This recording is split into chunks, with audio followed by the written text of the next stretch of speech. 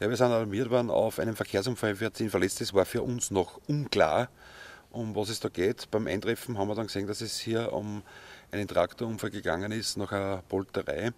Äh, es sind auf diesem Traktor 20 Personen oben gewesen und sechs sind davon verletzt. Dieser Traktor hat sich überschlagen und ist auf den Rädern wieder dann zum Stehen gekommen.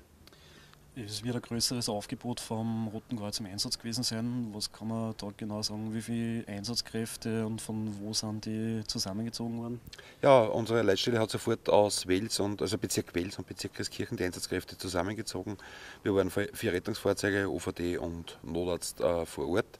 Es war ein bisschen erschwert die Anfahrt, da ja dieser ganz schmale Straße ist. Du kannst nur von einer Seite zu, äh, dass wir uns die Abfahrt für den Abtransport der Verletzten nicht blockieren und hat aber sehr gut funktioniert und da muss ich auch ein Danke an meine Kollegen aussprechen. Was kann man zu der Schwere der Verletzungen noch sagen, so grob geschätzt? Es ist ein Patient ist mit Notarzt begleitet worden ins Krankenhaus, sind aber leicht bis mittelschwer verletzt, also es ist relativ glimpflich ausgegangen. Ja.